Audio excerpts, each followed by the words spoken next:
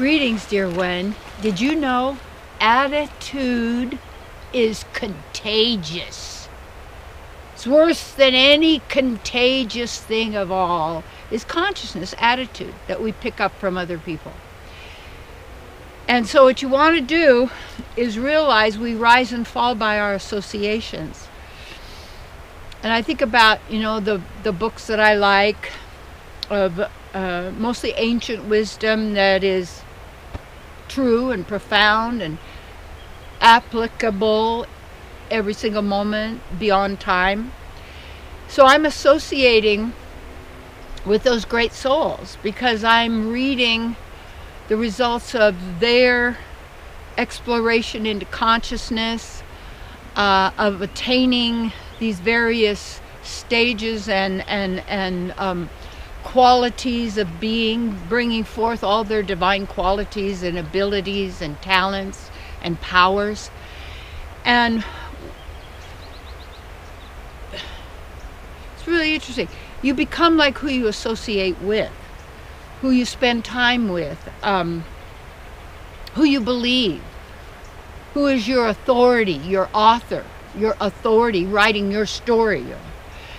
And consciousness uh, of attitude is contagious. So when you have a beautiful attitude, others also can have a beautiful attitude because they'll pick it up from you unless they want to feel bad, you know. And then sometimes someone who's really feeling bad and you're feeling good, their energy could be so strong. I was someplace the other day when a person came into the room with so much anger. And I mean, I was like, whoa, it's like knocking me off. And the energy just pervades. And what is it? Didn't say anything in that sense, but it's a feeling. And you know, it happens in relationships. You say, well, what's the matter? Well, nothing. You know, people lie.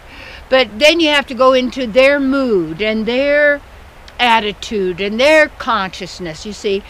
And especially like, I, I remember I had four, three other sisters. So in our family, you know, mom and dad and uh, four girls, and everybody was was wild, you know, in that sense. And in one level, it's fun because you're, you know, all happening. But another level is you're very affected by the moods of the other people and their state of mind, their their um, g- general attitude. So you want to be able to protect yourself from the consciousness and the attitudes that you don't want.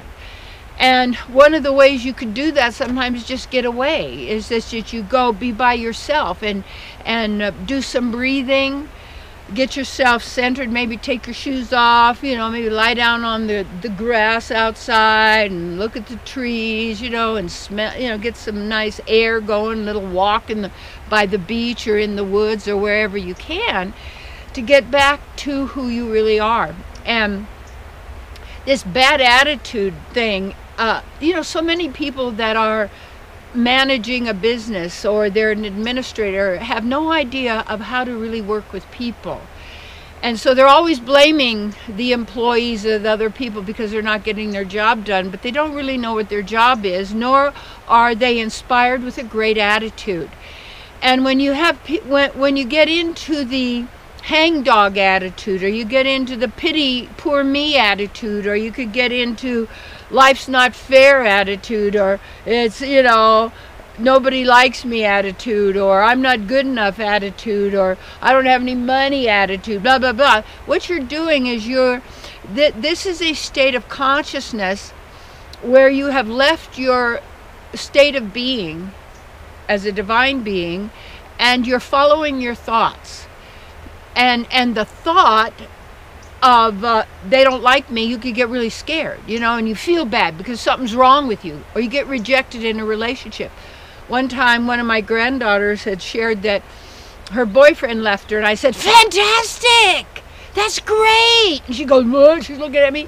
You know, you're going to get involved in a bad attitude and poor me, I guess I'm not good enough, nobody loves me, and then you feel sorry for yourself, and then you suck everybody else into your whole poor, poor you, are you all right? And some people make sickness a habit in the sense they could heal it, they could get rid of it if they find out what to do, what's the cause of it, don't you just don't treat symptoms you go to the cause of something.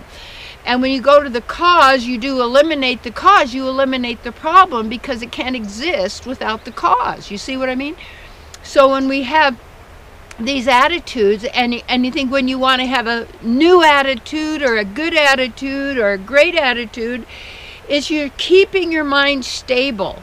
And you're not letting your mind jerk around all the time. And and you eh, sometimes you just have to talk to yourself you know?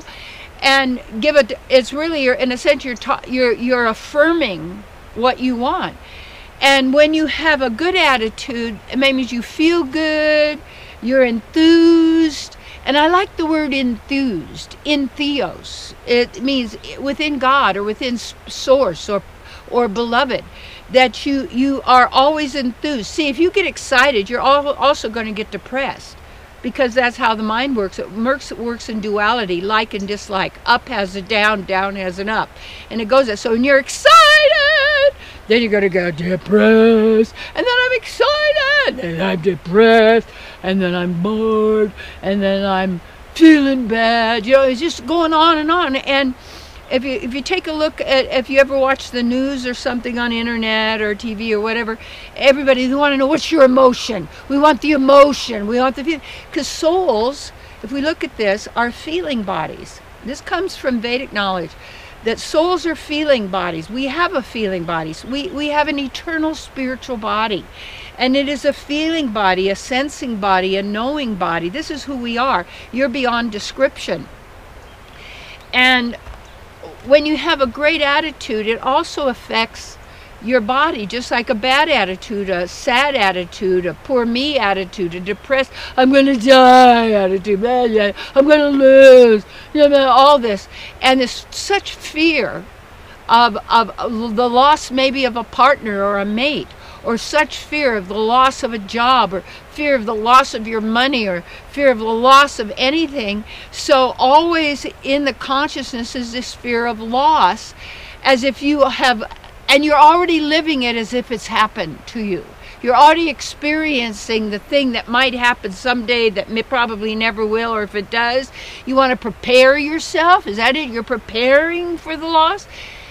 You can't lose one of my old friends was Reverend Ike. He's a prosperity teacher, and he said, You can't lose with the stuff we use. It was really good. He had these really cool little sayings and everything. And he helped perform my daughter Rebecca's wedding with Dave. And it was it was it was a it was a great wedding actually. It was really all the family and everything was great.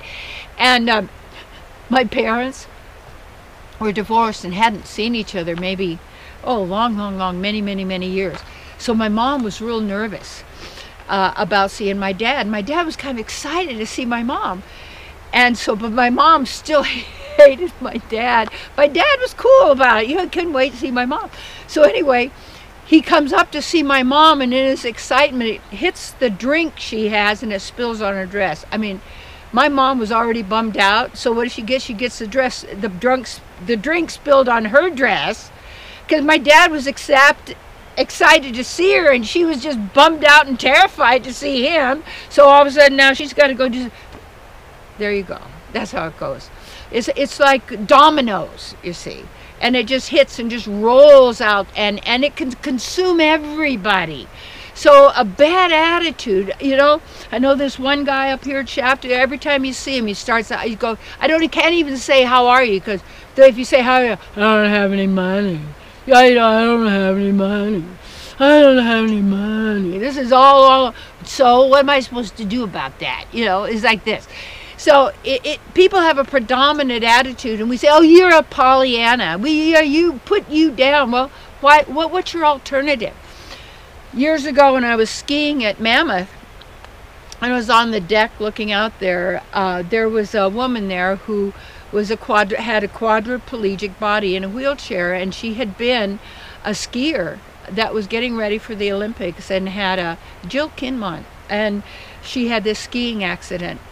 Sitting, watching her in this wheelchair, she was in joy watching the other skiers, and I said, "Boy, you have a great attitude." She said, "What's my option?" What's your option? And you know, it's in some levels we've got to make the best of a bad situation in a sense. Because you look at what's going on supposedly in the world, at least we're being told by whatever media thing we're watching or reading or studying about it. But again, what does that have to do with you? You know, there's somewhere in the Bible, so I think somewhere in Jesus' teaching in that particular form of, you know, I get, I, I, it's not that I believe teachings, I, that's not it.